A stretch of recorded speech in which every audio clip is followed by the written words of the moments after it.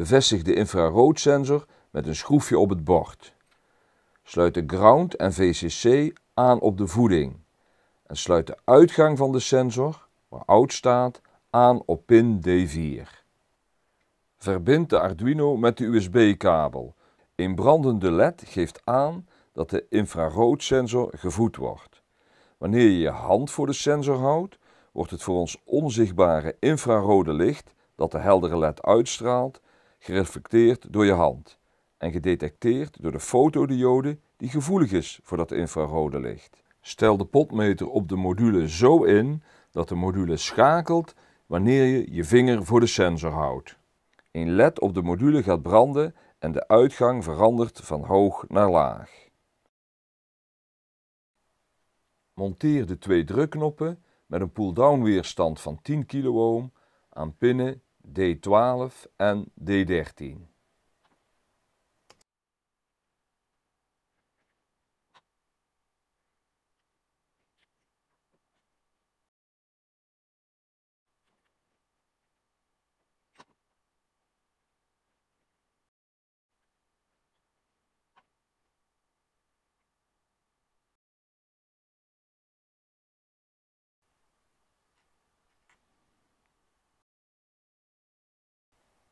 Plaats de dipswitch met vier schakelaars naast de drukknoppen.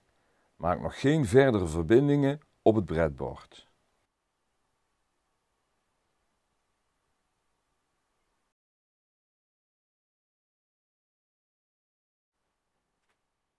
Monteer de potmeter van 10 kΩ naast de dipswitch.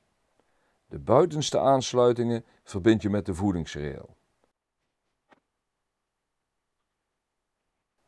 De middenaansluiting verbind je met pin A7.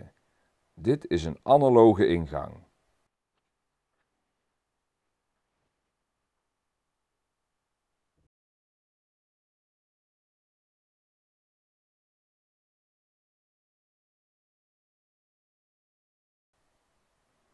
Monteer een groene LED met een voorschakelweerstand van 330 ohm aan pin D10. De voorschakelweerstand is verbonden met de min van de voedingsrail. Monteer op dezelfde manier de rode led aan pin D11.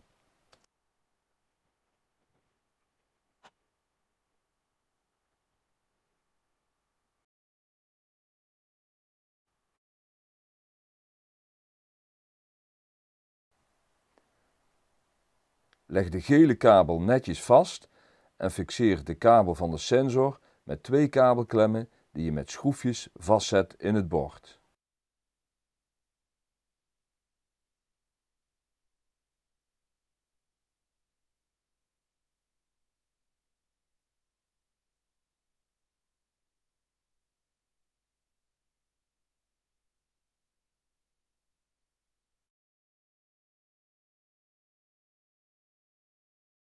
Om te kijken of alles goed is aangesloten, schrijf je een testprogramma.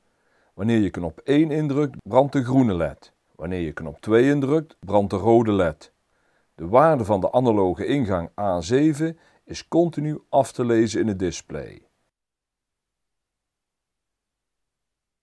Wanneer de IR-sensor schakelt, knipperen de rode en groene leds om de beurt.